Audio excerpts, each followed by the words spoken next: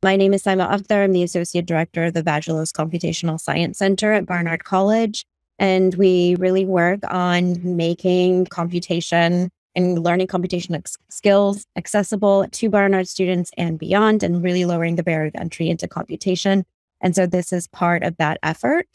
And I'm going to hand it over to our post-bac fellow, Zoe Webb Mack, and she and two Barnard students who are also computing fellows will be leading this workshop. So take it away, Zoe. Thank you so much, Saima. Hi, everyone. Thank you for joining us. So today we're going to be doing a short introduction to data visualization. We're going to be using Python and we're going to be using two libraries within Python for data visualization and data manipulation called Altair and Pandas. Before we get started with the coding portion, we're going to go over some quick basics of data visualization so I'm going to hand it over to one of our computing fellows, Pranathi, who's going to walk you through some of this.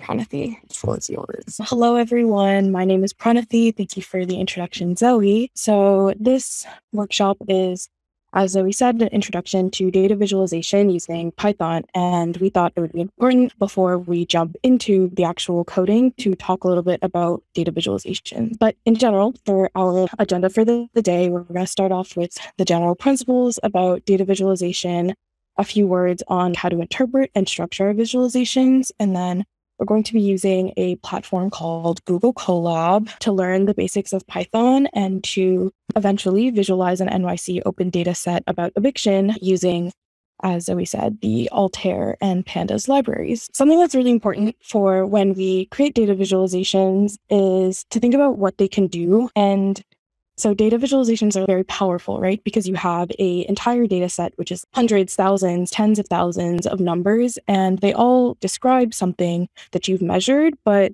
it doesn't come together until you're able to draw a plot or make a graph. And what's really helpful is that data visualizations can both be used to uncover relationships when you're doing that initial parse of your data, and it can be used to explore and analyze your data, as well as then when you present those data visualizations to other people, they can communicate trends and find truths about a data set. And then it can also be used to present an argument about the data, about the variables that you're comparing. In this way, data science and data visualizations and the production of them can be used to be both a tool of exploration and also a tool of communication. And I think all of us know, especially after seeing so many graphs and statistics about the pandemic and COVID 19, that data is pretty important. And across all spheres and sectors, it's important to be able to understand how to best make our visualizations helpful to other people.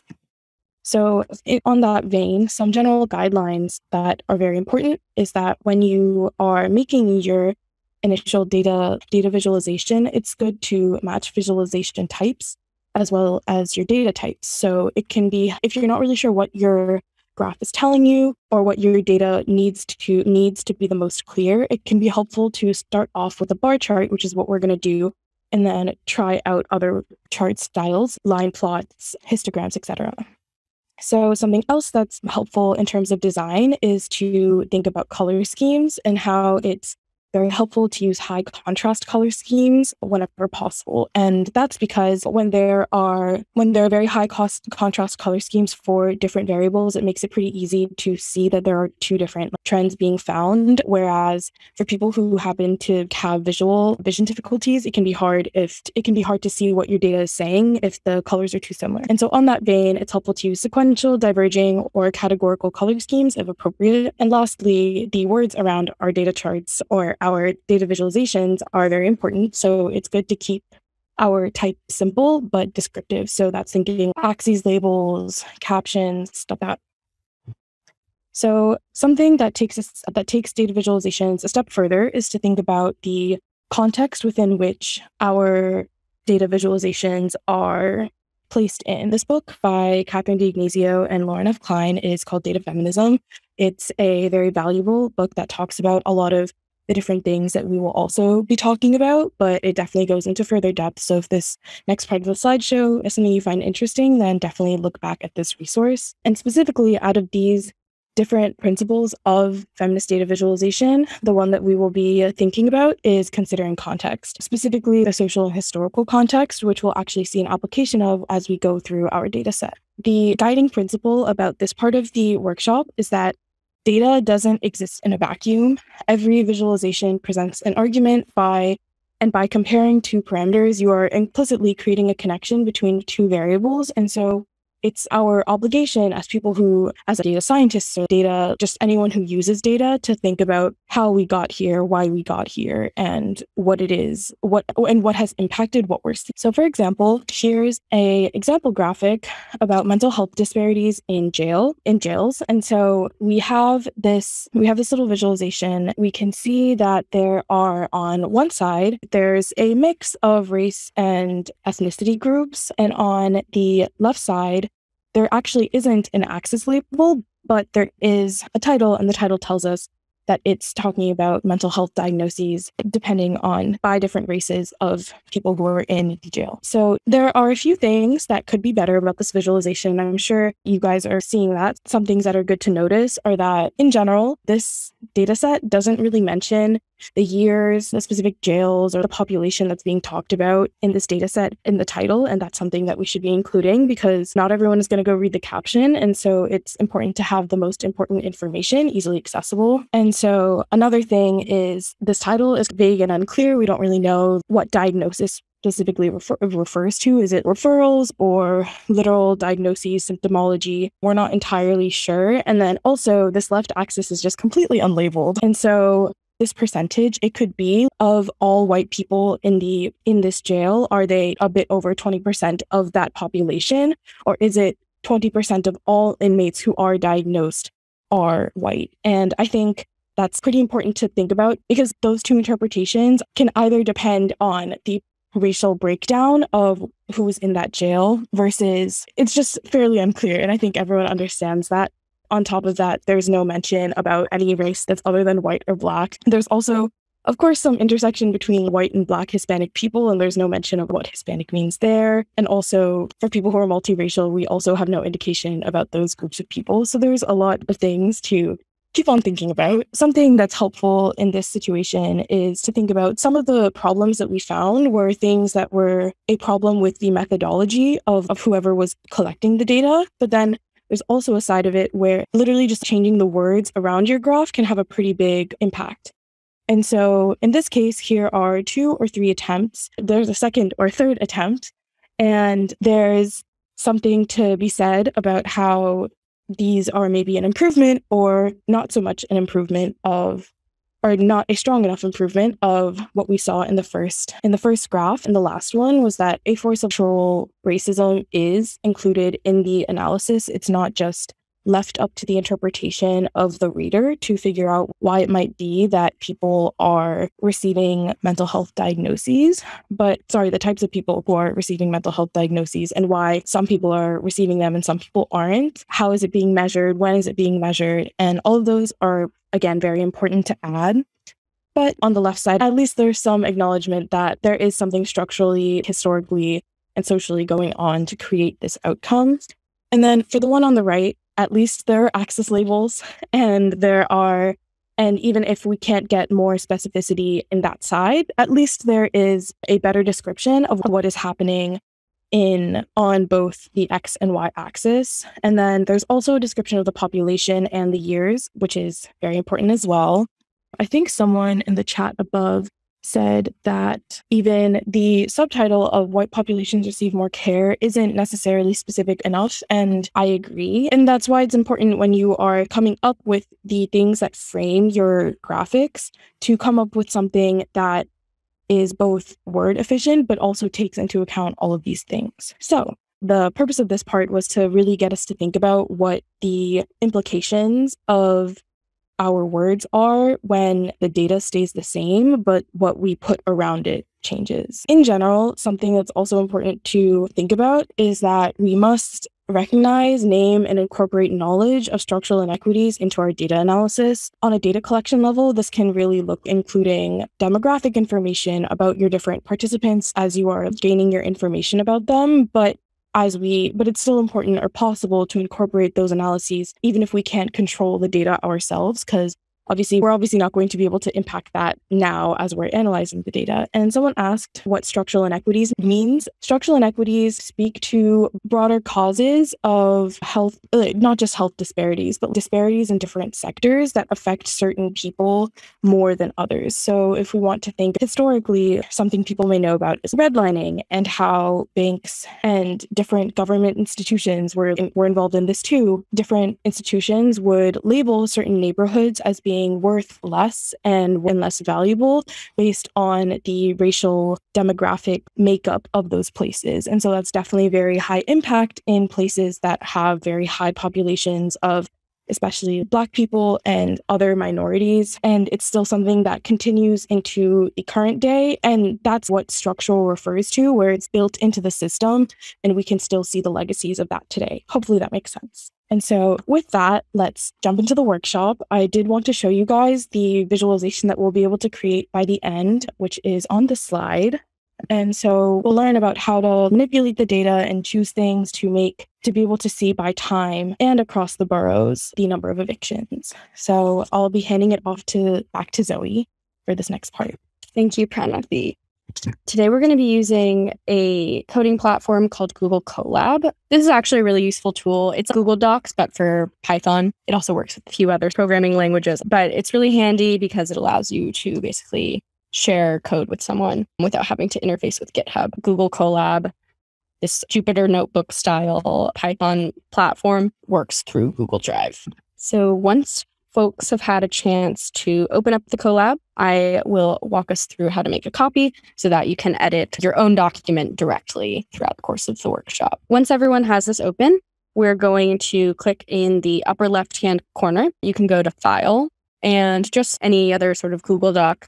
You can save a copy in your drive. So I'll do that as well. And that'll open in a new tab. And now you can rename this whatever you want. So maybe I'll call this a working version of this template. And now that you have this new document, you can work directly in this during the course of the workshop. Let me do one thing really quickly, which I forgot to do earlier.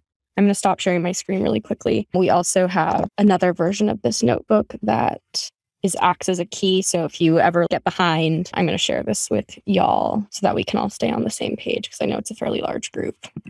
Okay, so now that we all have our notebooks available in front of us, a thank you to Pranathi. We're going to keep all of the things that she said about keeping context in mind and thinking about how we interpret data and how data visualizations interpret our understanding of relationships between different parameters and how that can be used as both an exploratory tool and an argumentative tool. So today, we're going to go over some of the basics of Python. We're going to talk about some basics of Pandas and Altair, which are these two libraries that we're using to support our data analysis and our data visualization. And then once we work with that a little bit with a simple example, we're going to move on and use a public data set from New York City Open Data. We're using a data set on eviction to create some basic data visualizations in Altair. And then we're going to build on these basic tools to create more complex data visualizations using the same data set and start thinking about how we might uh, create even more complex data sets. Some of the resources that we're using and that you can reference at the end of this workshop, or if you're looking back on it, are Altair documentation. It's pretty thorough. So it's, that's a really good resource. If you're new to programming,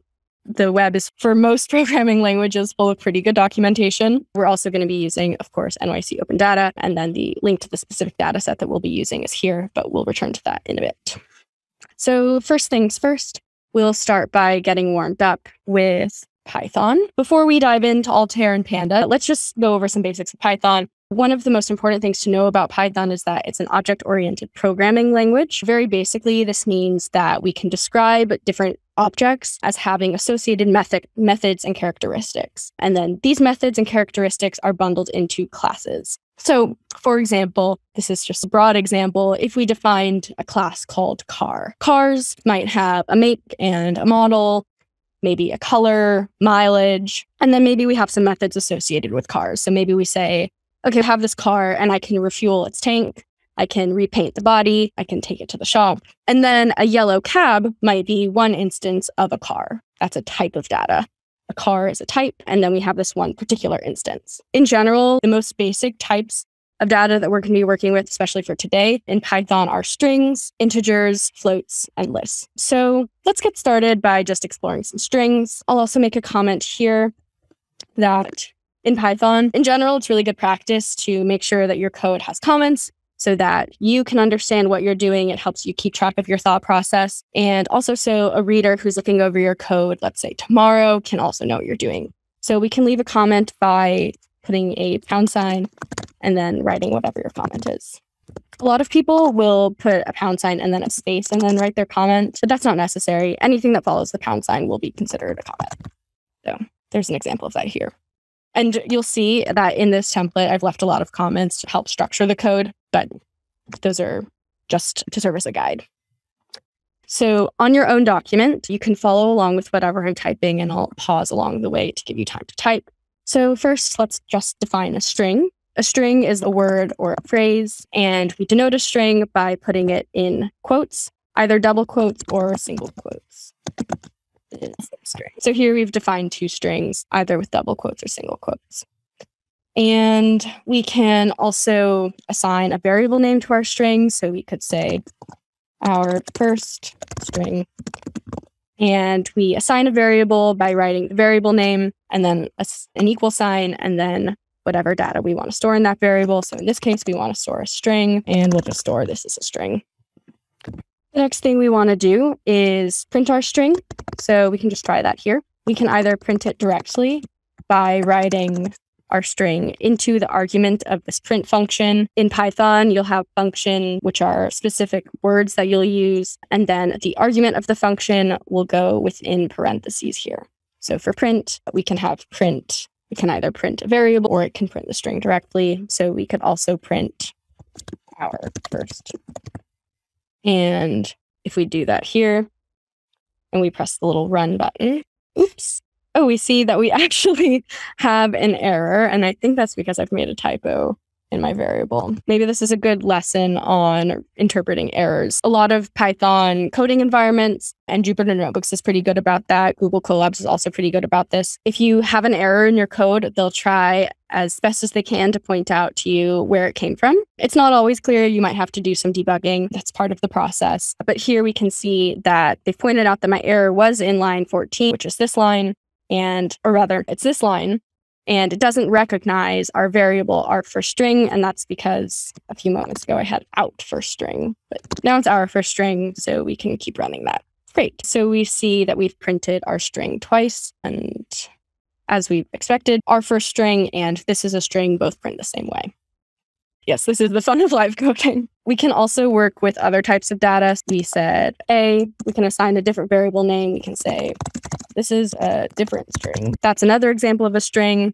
We can also have another variable that's an integer. An integer is a number that doesn't have a decimal point, more or less. That's a work, pretty good working definition. So five or six or 19. In Python, we can call a number that has a decimal point. We call that a float. So you could say this variable c, which is a float, is 4.6, or it could be 4.0, could be 4.99 up to you. We can run that.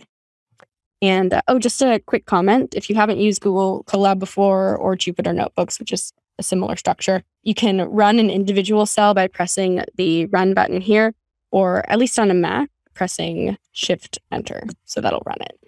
So now that we've looked at strings and integers and floats, it's important to think about why do we even have these classes in the first place? So Python functions sometimes only take a certain type of data. However, sometimes Python functions can take a variety of different data types. And in that case, Python will try to make its best guess about what you mean and what you want to be done with that data. So we'll work with a quick example using the plus operation. But here, the plus operation will mean different things depending on the type of data that we're working with. So, for example, let's just start by trying to add two integers. This is not a trick question. It'll be pretty simple and it should work as expected. So we can combine two integers, a and b, and you might notice that I'm recycling a and b from above. These are different values than they were in our previous example, but since I am assigning a new value to them, the old value will just be wiped out. So this is the new value of a and b. So we can print a plus b here. The answer is 11. That's as we expect. A and B are both integers, so we expect that 5 plus 6 would be 11.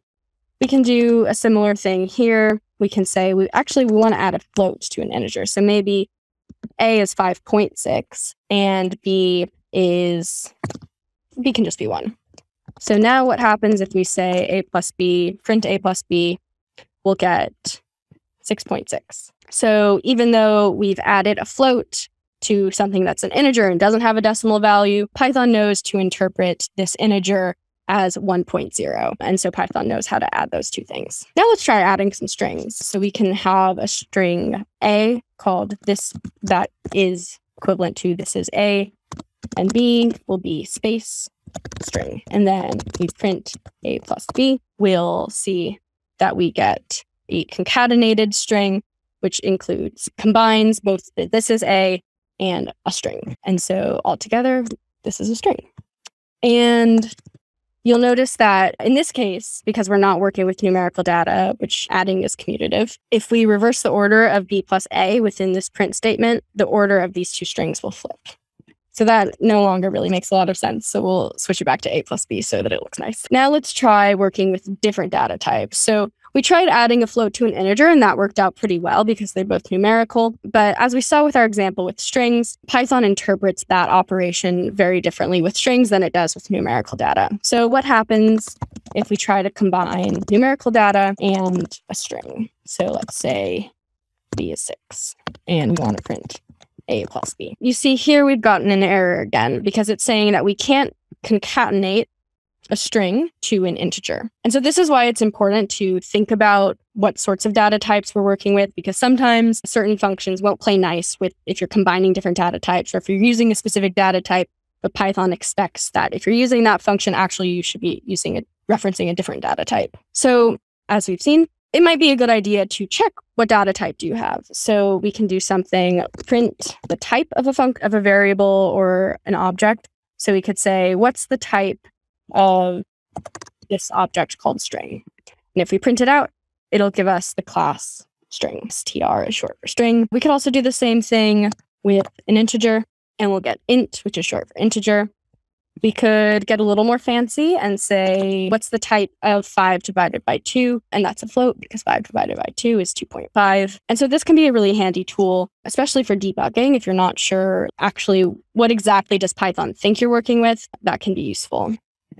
So we've explored working with sort of individual objects, floats, integers, strings, that we can actually store these all together in Python, we can store data in a number of ways. Today, we're going to be working briefly with dictionaries, which basically store data in key value pairs. And you don't need to understand them exactly. It's okay if this part doesn't quite click. Understanding or at least being familiar with dictionaries can be useful because dictionaries form the basis of some other data formats. JSON, which is what we'll use later, and JSON's frequently used for larger data sets. So let's just practice writing a little dictionary let's say we want to make a dictionary and dictionaries have key and value pairs. So you could have something, there's apple and color. The color is green because I have green apples. We can print this dictionary just to see what it looks like. It's not going to look much different than what we have on screen. And you'll see we have fruit, apple, color, green. Now we can create a slightly larger dictionary. So maybe we'll just call that a larger dictionary. Like you can name it whatever you want. And we can get a little more fancy. And instead of having an individual value following our label fruit, we can actually have a list of values. So maybe we have multiple fruits. We have an apple and we have an orange. Maybe we have a lemon. Then we can describe the colors of these fruits. So we could say the color of the apple is green because we have Granny Smith apples. The color of the orange, that's orange. It's a little boring. And the color of the lemon is going to be yellow. Maybe we also have, we're doing Granny Smith apples. Maybe the type of orange is Cara Cara. And I'm writing off screen. Oops. Cara Cara. And maybe we have a Meyer lemon. So now when we print a larger dictionary, It'll look roughly the same as what we have, but you can see that we've organized these values into categories. And the reason I bring this up is that when we're working with large data sets, oftentimes these large data sets will be organized spreadsheets. So they'll have columns and rows. And so dictionaries, which form the basis of some of the ways that we can format these larger data sets, operate in a similar way. So we see that if each of these entries is a row, we have a green Granny Smith apple, then each of these keys is a column, the name of a column. We'll return to this. It's if this isn't quite clicking right now. And in the end, at the end of the day, we're going to be using a different data format anyway. Don't stress it. But I just want to introduce this idea to you because it is something that comes up a lot in Python. Let's move over and start talking a little bit more about data visualizations with Python. So today, as I mentioned, we're going to be working with two libraries. Libraries are really handy because Python doesn't have all of the functions you might want to use, but libraries ar- allow you to import extra functions that Python maybe in and of itself does not have. And this basically means that you don't have to write everything from scratch. So it can be really useful. It can help you get a lot more power out of the language that you're using. So when we import a library, we're going to say import the name of the library. So today we're using Altair. We're also importing Panda. Altair is our data visualization library. It's really helpful for charting things, and we'll talk a little bit more about it later, but it's pretty comprehensive. Pandas is going to be our data manipulation library. We'll also talk about that a little bit more. So you can run this cell, and there you go. We've imported Altair and Pandas. And then anytime you want to use a specific function from either of these libraries, you'll write altair dot function name whatever else you're writing. But we might get bored of writing Altair and pandas every time, so we can assign a nickname to each of them. So instead of saying import Altair, we'll say import Altair as alt and import pandas as pd. Whatever you import it as doesn't really matter. These are just nicknames. You can assign whatever nickname you want, but these are standard and fairly short. They're short and clear, and this is respect convention. So we can run this again. Great. So now we can actually use pandas and Altair. So first, we had our little fruit dictionary, but let's make a people dictionary. So let's call this, this will just be another example dictionary. If we don't writing the whole dictionary on one line, we can just press enter after we write our curly brackets, and that gives us a little more space to write things. As I mentioned earlier, this key will be become a column. So let's say we have a column called name, and we have the name of five people. Mark, Robert. I'm gonna pull start pulling names for the crowd. And I don't know. Okay. And then we put a comma to tell Python that okay, we're not talking about names anymore. Now we're talking about ages. So we'll make another column called age. And this will include the ages of the different people that we've just listed. So maybe Susan's 19, Mark is 27. Robert's 44. Diego's 56. I guess I'm going in ascending order. Frank is 40 and Sion 11. So now we have this new dictionary called People Dictionary. We can print it to see what it looks like. and we see that we have Susan, Mark, Robert, Diego, Frank, Sienna, and these are their ages. So as I mentioned, Pandas is a really useful a really useful library for data analysis and manipulation.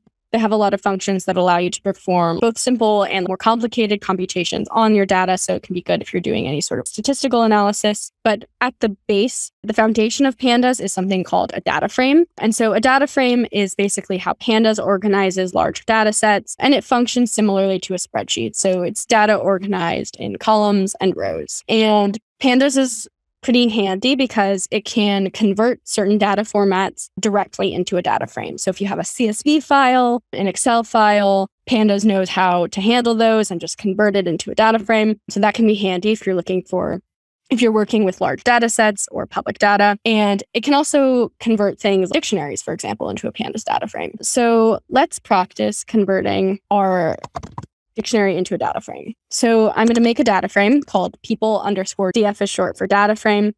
We're going to call pandas by writing pd dot data frame, and we'll make data frame out of our dictionary, if I can spell it correctly. Now, let's see what happens when we print people underscore df. So let's print our data frame just to find out. And as you see, compared to the dictionary that we had above, which was just formatted basically a string, Pandas has gone ahead and organized this as a little table.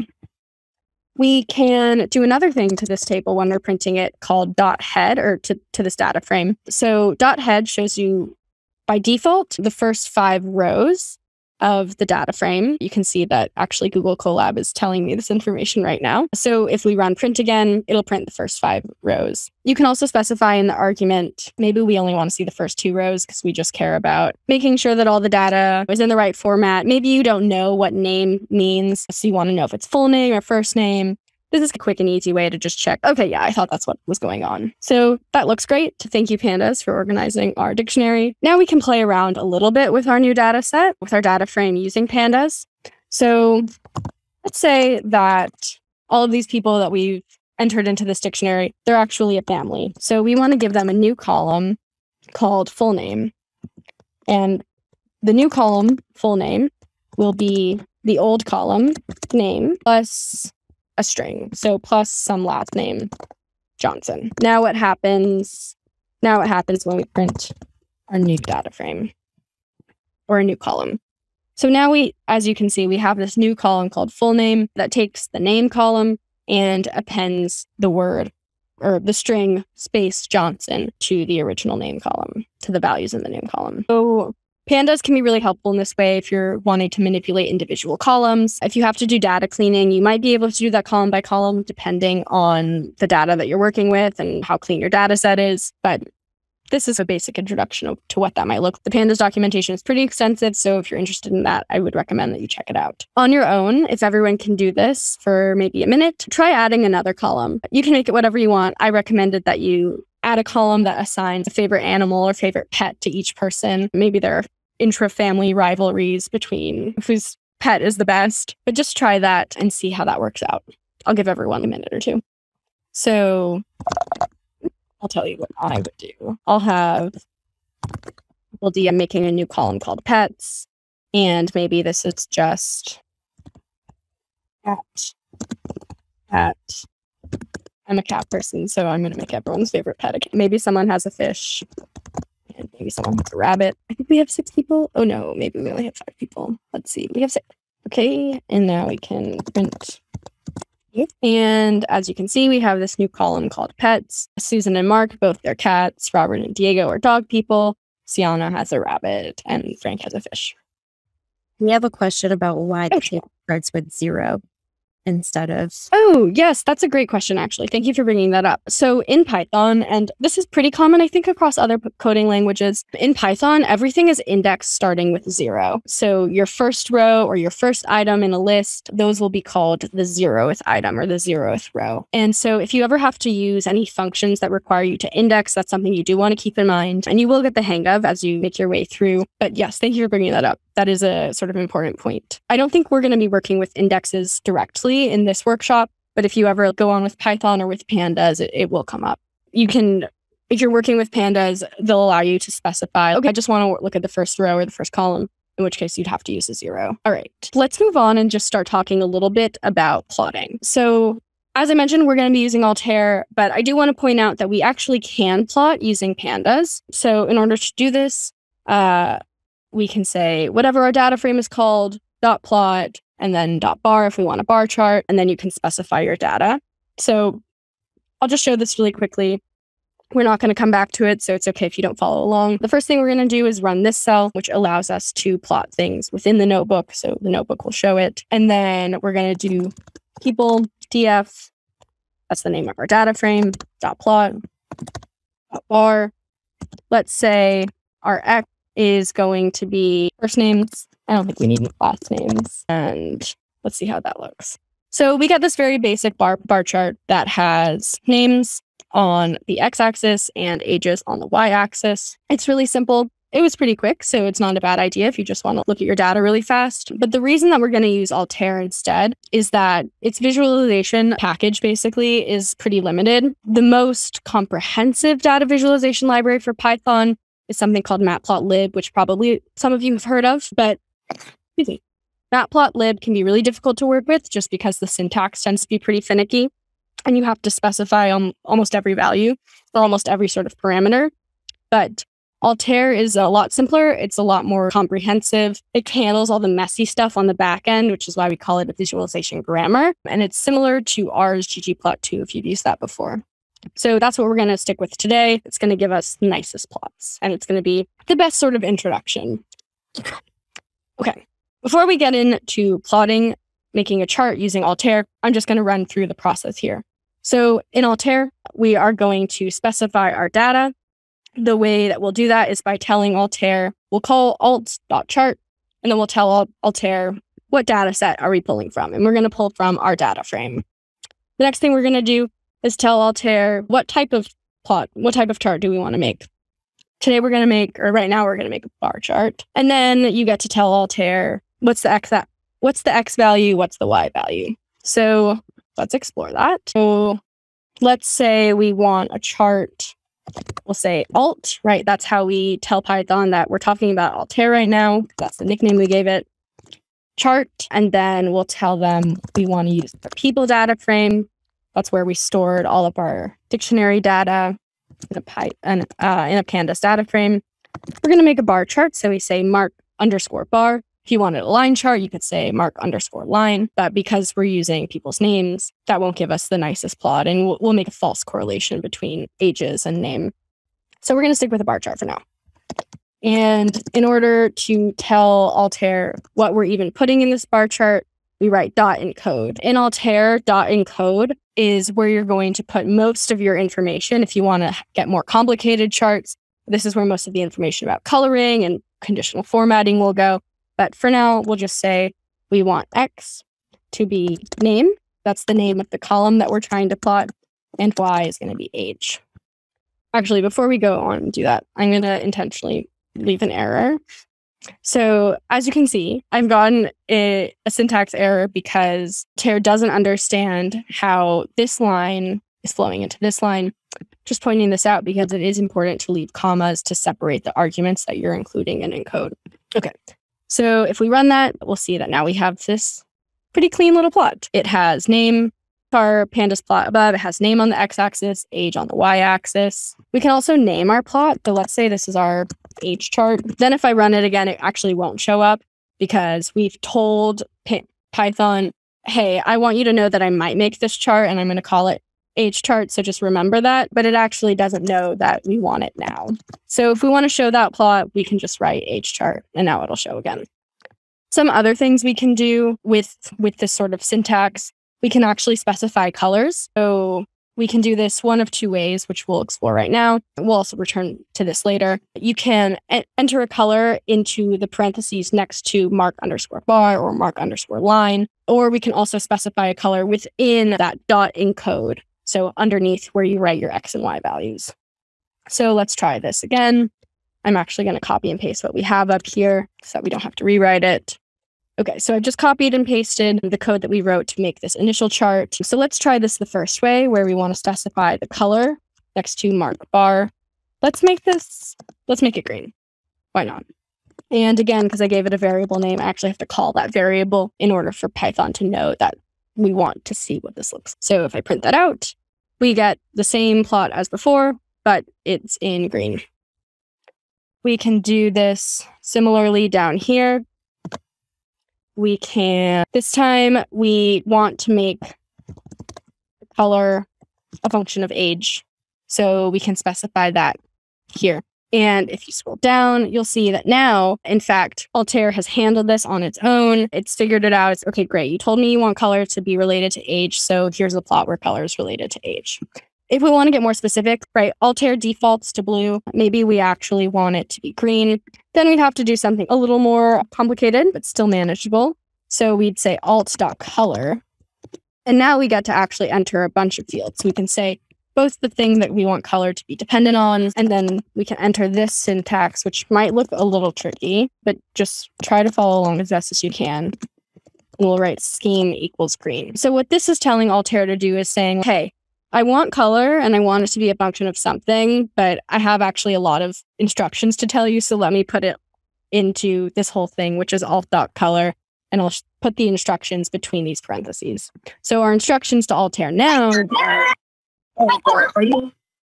Uh, our instructions to Altair now are that we want color to be a function of age, which is same as before, but actually we also want to give it the specific color scheme greens. That should be greens plural. And Altair has a lot of built-in color schemes. They're well documented, so if you look them up online, you'll be able to find them that way. And so now, as you can see, we basically created the first chart, the, the chart we had before, but this time instead of blue scale, we have a green scale. And just one thing to note, the first time we made it, right, our color was fixed. The second time, the color is dependent on this particular data. So before we start working more closely with public public data, I just want to introduce the idea of JSON data. So JSON is just a format that data can be put into. It's really common across the web.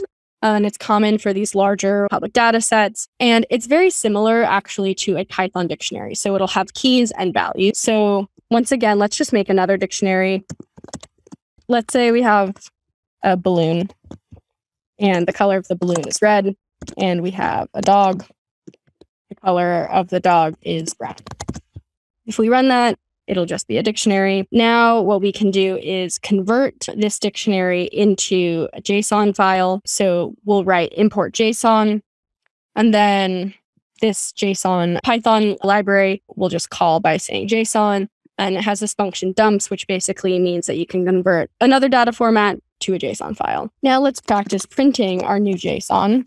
As you can see, it prints, it looks exactly the same as, for example, if we had printed our dictionary, they're identical. But what if we printed the type of the JSON and the type of the dictionary? Actually, we see that whereas they're formatted exactly the same, the JSON object is actually a string, and the dictionary is Python's basically interpretation of something that looks the same as that JSON string. So, are there any, at this point, I guess I'll pause and take questions. We're about to move on to talking with public data. It's talking about public data and working with that more closely. If any of the dictionary stuff is unclear, or if any of the sort of panda stuff is unclear, that's totally okay. All of this is documented pretty well, as I said, in both the pandas and Altair documentation. Right now is more about getting the feel for it. And it's more important that we're getting a sense of the flow and getting a sense of, okay, these are fields that I could change. And if I had this idea, if I wanted to format things differently, this is the type of thing I might look up. All right, I'm going to hand it back over and we're going to start working with public data. Hi, everyone. Actually, I noticed that someone's question in the chat was Do you need to use pandas if you're using Altair? And you can think of pandas as this really as this really broad, widespread library that has a lot of different functionalities. You can make data frames, those are extremely powerful. They're pretty equivalent to making a table. And there's a lot of stuff that pandas can do, but it's pretty widespread. So you can change you and so you can do things with data visualizations in Python in pandas as we saw. But then altair is this library that is very specifically for making data visualizations. So you can change the subtitle font the title font you can change colors pretty easily and it's all very specified so it, it becomes it becomes pretty easy or you can specify a lot more things in a altair visualization than you can with a pandas one so hopefully that makes sense. Altair just gives you a bit more control over what you're able to see in your visualizations. And i know that there was a lot of talking and a lot of coding and going along but i'm going to take a little break and show you the nyc open data website so you, at least you can just sit and watch for a little bit instead of trying to frantically work alongside it. But if you you can see here, all I did is we linked the NYC Open Data link in the Colab. So you can just click that. And I'm going to show you how to import the data in a JSON URL. But first, let's just click on that link and then go here. And so this is what, if you click on any data set inside the NYC Open Data repository, you are going to see this version of this page, but a version for each dataset you choose. So here is going to be a just a quick description of your dataset. And there will also be the department that has provided this dataset. And that's also something that you find here. And then you see a bit more information. And then if you scroll down, you can see the number of rows and columns, and then also all of the columns in this data set. And some of these can be hard to understand just by name. So we're to, so you can see the description and also, for example, with executed date, you can see the, both the data type of what is, of what the things in that column are made of. For, and so in this case, it's floating timestamp. you can also have just plain text. And then the stuff that you're going to see as the column name is not exactly this nicely capitalized, really pretty title here. It's going to be what's under API field name. So if you're ever getting an error that's this column doesn't exist, you might want to go back to this part of your respective data set and then look into what the API field name is and then use that instead. So that's a little bit of intro into how to navigate this page. Something you can also do is if we just go to the website in general, they have a pretty good categorization for people who are new to open data and gives a bit more of a primer. And then you can browse the data catalog. I think Carrie was saying earlier about all of the different really cool data sets that exist. And so you can just take your time and explore. But to get that JSON URL we were talking about, you would need to go to API and then go to the API endpoint, which you would want to be a JSON file, and then copy that. And that URL has already been copied for us. And instead of having to copy and paste it everywhere, what we can do is we can store it as the object of data URL, as we saw earlier. So we put the name on the left of the equal sign and then the thing we're making it equal to on the right. So the next thing we need to do is use pd.readjson to create a new data frame and call it eviction underscore df. A really big proponent of copying and pasting whenever possible to minimize the amount of errors we make. So I'm literally just going to copy and paste this part that we see right here where it tells us how exactly to use pd.readjson and then just copy and paste it. And then we can fill in what is what we want to change.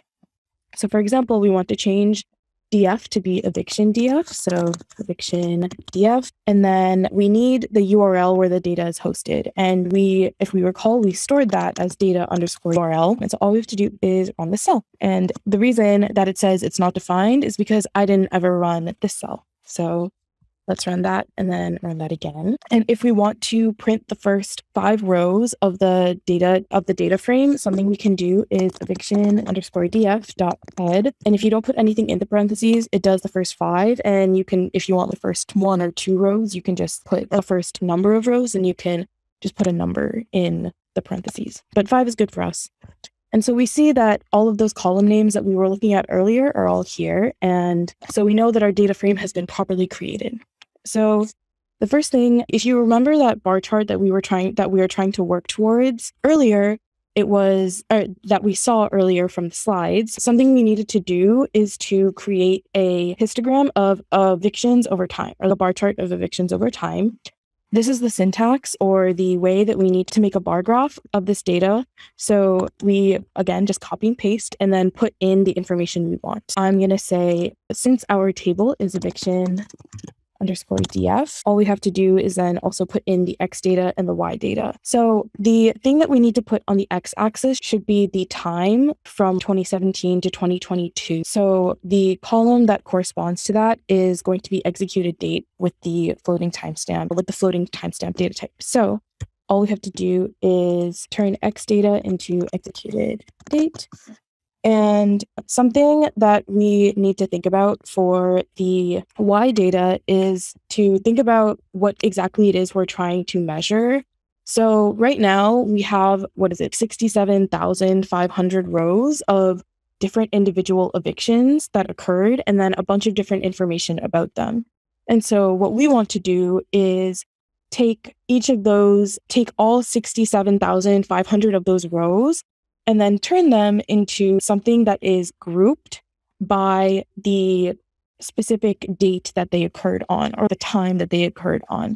And then we'd be able to get a visualization with many of the, with over time, how many, what was a frequency at which we saw the these evictions happen.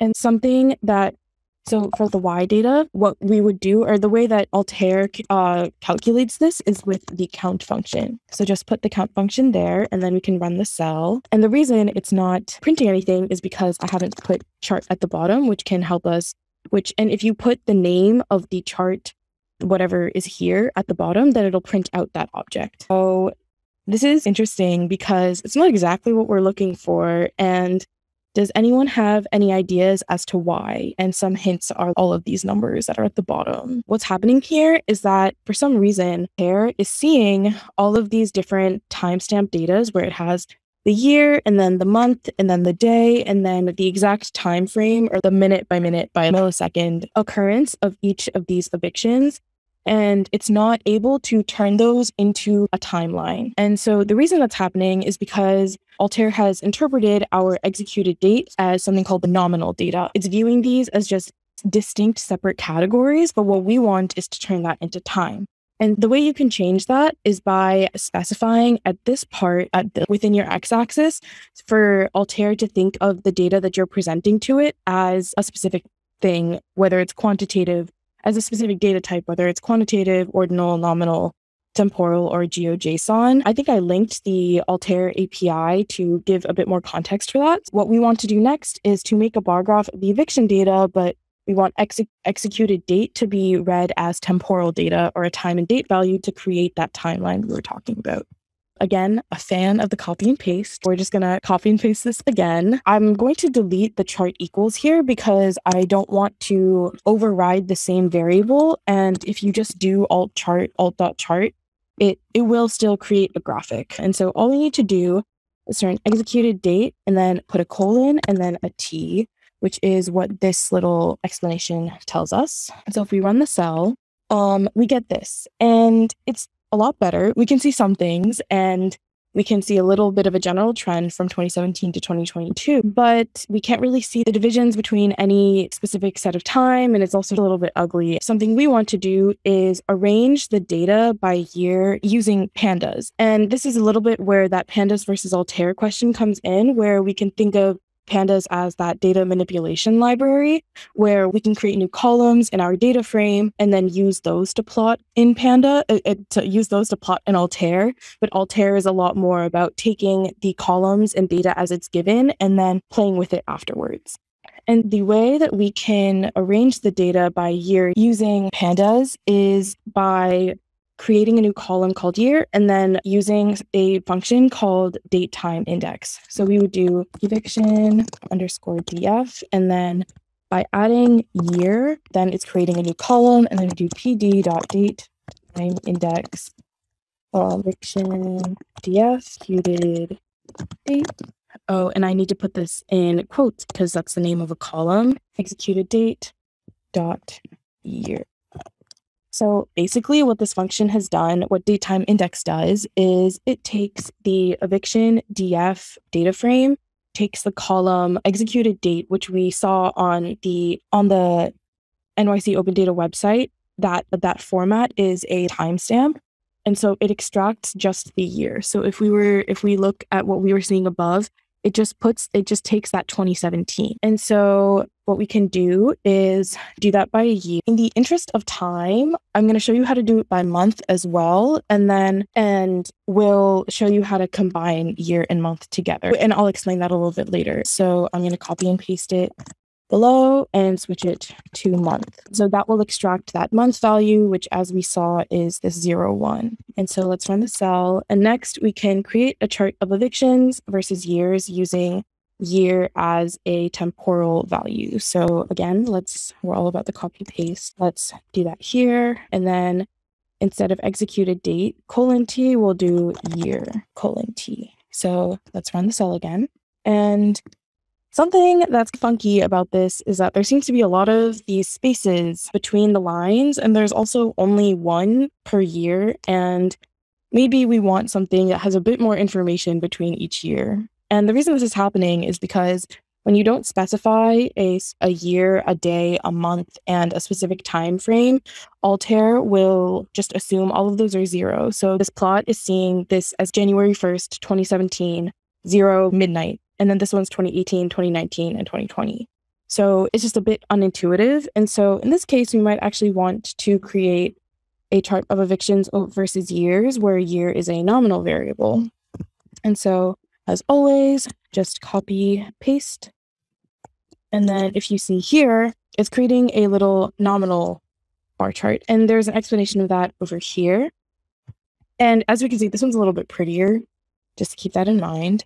But something that can be really helpful is if we plot by both year and month. And so we've given you a part here that that you can just run in the cell to see to create a sequence of years and months. So 2017 January, 2017 March, and then pandas will be able to or altair will be able to run that into a sequence and like see it as a timeline and then go across that way. If we want to see what this line does we can just print the head print the head of the data frame. So we do eviction for df dot i think that should work. Yes, and so it has. And so since we added all of these columns at the end, we can see year, month, and then year slash month. And as I was saying, it gives us the year and then the March, so 2018, June, 2020, January. And so now we can create a plot using our new column. And let's go back to the code we had previously that was here and just copy and paste again. And instead of year colon T, we can do year underscore month because that was the name of the column we made that has created this sequence. And so let's run the cell. Oh, she's not showing up. As long as it works for everyone else, because I know what that data, I know what that visualization looks. Like. We'll just save it as plot one. In general, for what I want you guys to do, I want you to save your chart as plot one, which can be helpful. And so I'm going to try and make a line chart instead and see what happens when we add it to our first plot. If you guys make a line plot and save it as plot two, you should see that year month that there's a line chart and then there's also and it's superimposed over the bar chart. Something that's important to think about is how in that space, there's going to be a space where we aren't able to see a bunch of data. We can actually see it in this graph, but there's this large space. And does anyone know what the event that happened that made it so that there's no data here was? And it was since it was during the pandemic. Why is there zero on the count of eviction? Yes, exactly. So Laura's correct. It is the eviction moratorium. And that's why it's really important when you're looking at your data to be able to kind of see what exactly is happening historically and socially so that you're able to know that it's not that the data was just missing or it's not that all of a sudden there was a sudden decrease in evictions, but that there was a literal stopping on it. I think I'm just going to keep on making the visualizations with executed date T instead of the year month, even though year month looks prettier, just so that we can at least objectively see what's happening. So make plot one, executed date. Okay, it's not ideal. And if you guys stick with doing year month and add the plots together, plot one plus plot two, what you should see is that there's, it makes a lot of sense. There's a lot of agreement between the line plot and the bar plot pretty far in until we hit the eviction moratorium. And then at that point, it makes it seem there's a sudden decrease, but it's pretty gradual. And so it makes it seem across time in the bar chart that there is that there's suddenly just a steady decline in the number of cases when in fact there was just no data. And I think we mentioned that in this interpretation warning, but I think since it's a bit hard to see on my computer, but does everyone understand the idea that in this case, a line plot was not the best choice because it made it seem there was this steady decrease in the number of evictions. And that's something that can misrepresent our data. We are attempting to troubleshoot by using Google Chrome, which is where Google Drive is what Google Drive is native to. It's just a Safari thing. So we didn't know this before, but Google Colab prefers Google Chrome because Google made it likes everything to be under its own umbrella. So here we go. Just to recap, this is what the plot will look. And for some of you, I guess this is what it did look like, which is great. As you can see, there's a gap in the data there where during the time over which the evict- eviction moratorium was in place, and Pranathi is generating the plots, the so, combined plot. Yes. And as we can see with the green versus the blue, if the bar chart shows that it's zero no data, but then the line plot doesn't, and it makes it seem there was just a steady decrease and then a continuation. And something that's why it's pretty important to just look at our data and figure out which visualization is making the most sense with it and which is representing the data most truthfully. And the reason this is happening is just because the way a line plot works is that Altair will plot the individual data points it's getting and then literally just draw a line connecting them. And so it's not anything is particularly going wrong. It's just that's how line plots work. And so now, hopefully, that makes sense to people and is also the right visualization to take so that people can actually see what I was talking about. And next, I'm going to hand it over to Shui Ching, who is going to talk about adding that boroughs component back into the back into all of this. Okay, for this section of the workshop, we're going to look at how we can specifically select a subset of the entire data set that we're working with. So, for example, in the evictions data set, we might want to specifically just look at evictions data in very specific boroughs, knowing that we have a column, a column called boroughs. We can also maybe want to investigate the eviction data just for a specific type of property. So if you notice in the evictions data set, there is also a column on the residential property type. It, could be residential, the property type. So it could be residential or commercial. And sometimes filtering data in a data frame is really helpful, especially when you have to work with much larger data frames that are much, much bigger than even just evictions data. And you just want to use a subset of the data to work with. So, how do we filter data in Altair? So, what you can do is to use the transform filter method that selects a subset of data based on a condition.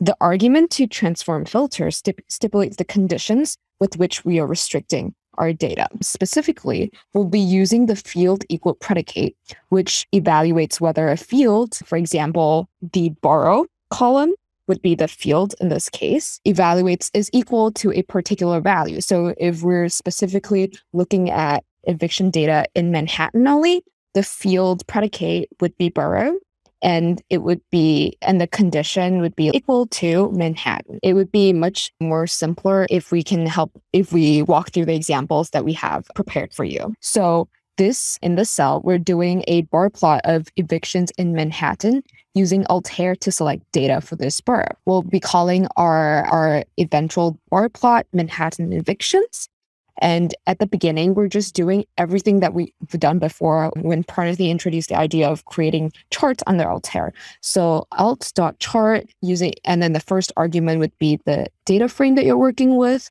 And then in this case, we just wanted to be a little bit more fancy, added a title as part of the configuration of the chart.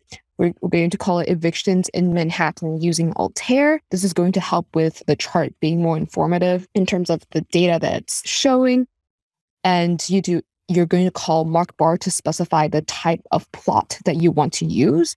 We used just red arbitrarily just to denote that this is for Manhattan. Sometimes color, as you will see later, the color coding would be very helpful when we eventually want to, for example, overlay data, different groups of data onto each other. And the, and the encoding is very similar from what we've seen earlier as well. The x-axis would be year month temporal data and the y-axis would be count. What is different, however, is the second part of the code. So this is where on top of the chart that you just created for all of the evictions data, you would filter the chart using transform filter and using the field equal predicate setting the first argument field equal to borough, which is the column that you want to be specifically looking at in order to filter your data. And the condition would be equals to Manhattan. Just for more information, there are different forms of conditions in which you can stipulate in Python. So, for example, instead of wanting data to be equals to something, you could also stipulate perhaps a range, such as above above a certain number or above and equal to. All of those documentations and po- uh, varieties can be found in the link on data transformation in, in the section in this text section above. So I'm going to switch to the empty notebook. Like, so as you can see, we have the bar plot for evictions in Manhattan using Altair display. Just for your information, we wanted to also bring up the point that you can perfectly well use pandas to also filter the data frame first and then use Altair to plot the filtered data frame. I I emphasized this earlier when we were doing the bar plot using Altair. What you're doing is first plotting the entire evictions data frame and then using Altair to filter. But if we were to use pandas to filter our data frame first before plotting, it would look something that we're just going to call this the filtered Manhattan data frame. Manhattan data frame walls eviction data frame and to filter you you would use a syntax, syntax that looks that. I'm going to clarify what they are after I'm done typing it. Eviction data frame, and then you specify borough. It's very different though for pan. It's yeah for panda. Yeah, so borough. So this is the column that we are referring to, and you're going to set this to equals to Manhattan and make sure your Manhattan is capitalized as it is in the original data frame, the API syntax. And this would be the filtered pandas. This would be the filtered data frame using pandas. And what you'll do later is just plot the data frame using Altair. So you can call it Panda, Panda Manhattan Evictions, for example, something informative and this different from earlier Panda Eviction Manhattan. So we do alt dot as usual. Okay, you know what? I'm gonna do what Pranathi does. I'm going to copy paste. And here, if I were to just copy paste using what we used earlier, I don't have to use transform filter at all. So the only thing that would be different is that we're using a different data frame. Here we have our filter data frame in DIA. So it would look something like that. And if we were to run it, oh, it just Eviction is not defined. Did I spell eviction wrongly? Oh no. I know.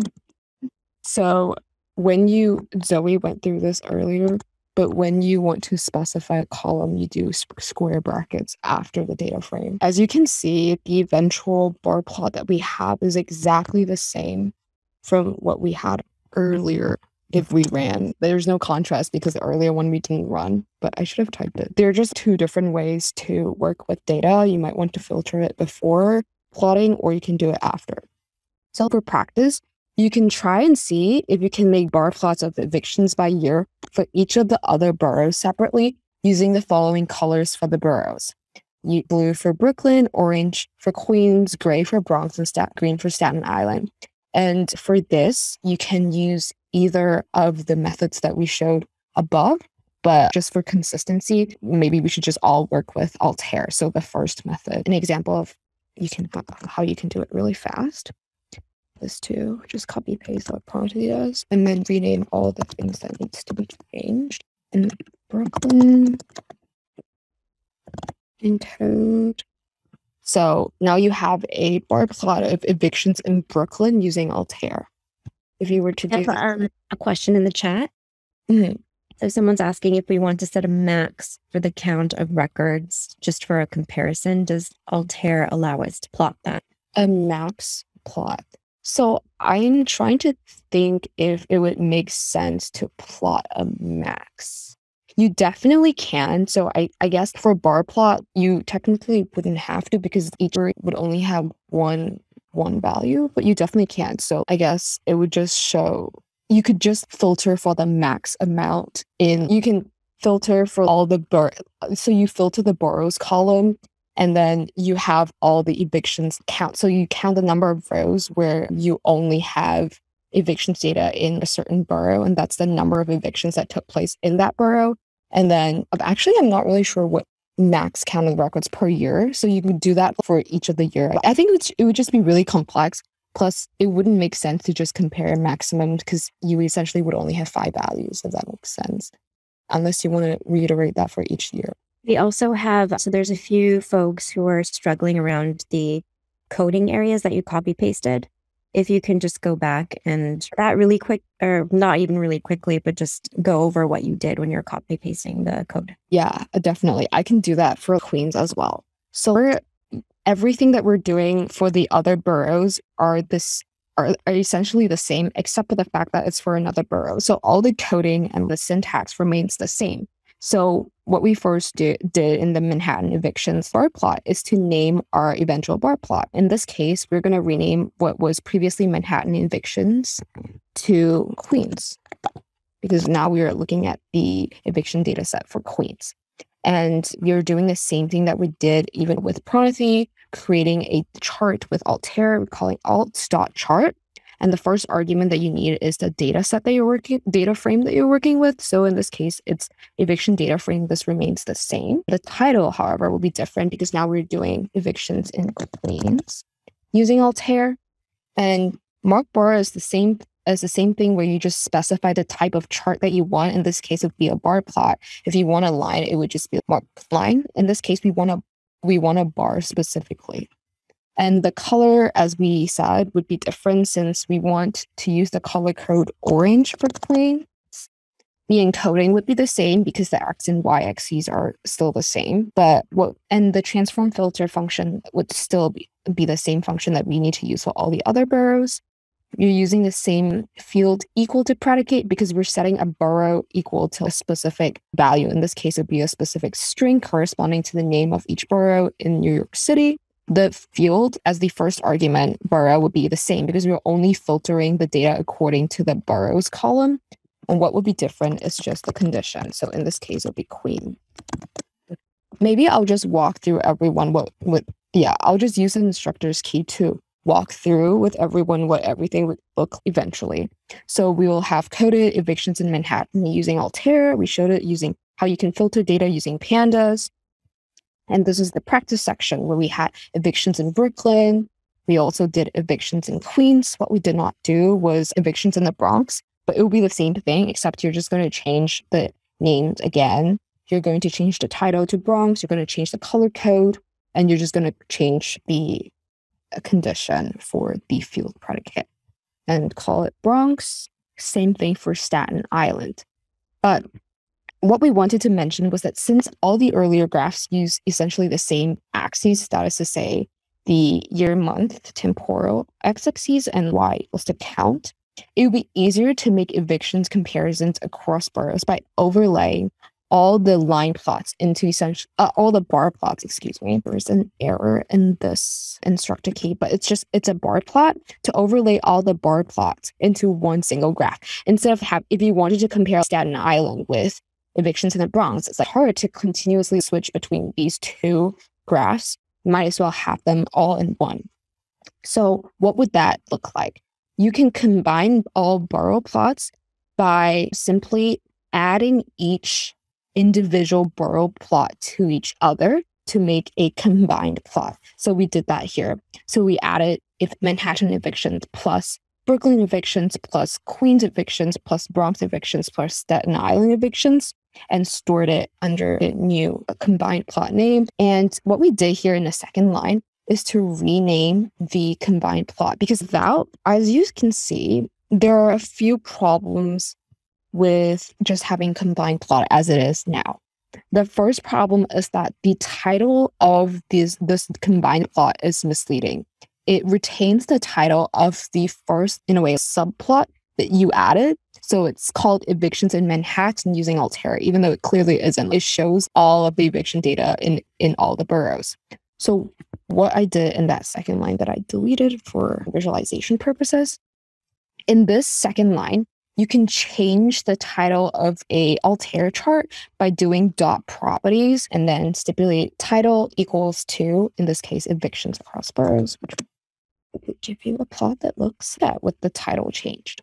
But there is also still something pretty misleading and wrong about these this overlay chart. Does anyone have any ideas? What is what would be a difficulty in terms of reading this bar plot as it is? Maybe a hint would be that we know that there are five different colors that we should expect to see in a eviction data set insofar as there are five boroughs in New York City. Yeah, a legend is needed, but also we're not seeing five colors in most of the years that were that are being displayed. Most of the time it's just entirely gray with a little bit of green or a little bit of orange and that doesn't make sense. It's not because Manhattan is red, it's not really for Manhattan to completely have no evictions whatsoever from 2017 to 2021. So the problem here is that because the plots are being overlaid and the, Altair is not showing you the individual breakdown of each like boroughs because it's just showing you the total and whichever as long as the total is reached, the composition doesn't matter if it's being repeated. Like Manhattan, if Manhattan and, for example, Brooklyn have very, the Bronx have very sim- similar levels of eviction, the Bronx or Manhattan color would be sufficient. One of one one of which would be sufficient instead of two. And there is no way for the color. To, yeah, what you can do as an alternative to show all the boroughs is to create a layered bar chart that would look something like that.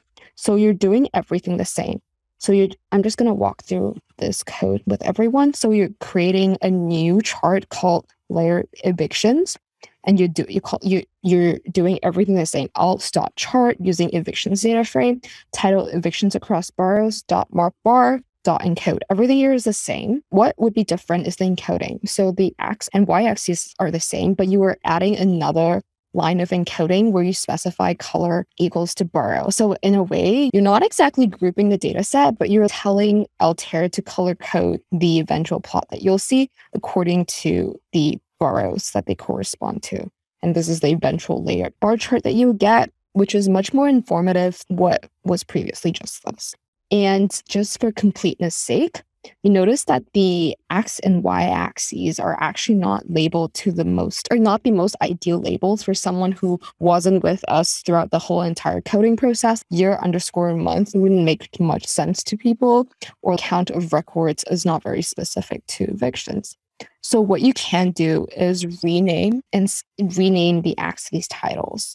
So in this cell, I'm just going to run it. In the x axes, everything's the same, but the encoding for the x and y axes are different. So you're calling altair.x, and then you're just trying to reconfigure the x axes um, even though this is the way they do it, we're just telling her that we want the title for the x the header for the x axis to be date executed by month, and for the y axis to be named um, number of evictions. And if you run that, you can see that the x and y axes are changed. Yeah, and that's essentially all you need to know for this workshop. We had a few other parts below, but I'm not sure if we have the time to run through it. But I just wanted to say thank you again to Zoe, Shaisui, and Pranathi, who did an amazing job putting all of this together and troubleshooting and answer questions in real time. And we all know how hard it is to code in real time. So I really appreciate it. And thanks again, everybody, for joining us.